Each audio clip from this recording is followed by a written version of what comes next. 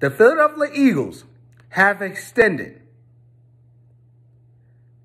Howie Roseman as general manager for another three years.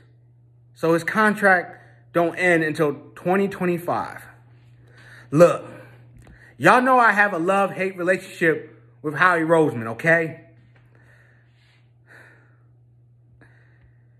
Do we deserve the extension? No. But I understand why Jeffrey Lurie gave him the extension.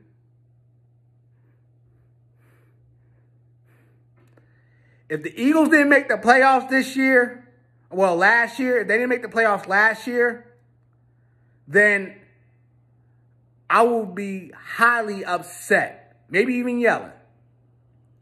But the Eagles did make the playoffs last year.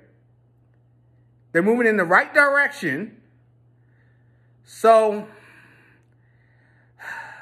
Howie Roseman, you got another three years.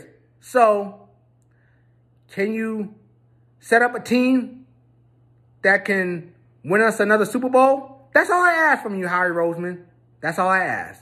And that, my friend, is a fact. Like, comment, subscribe.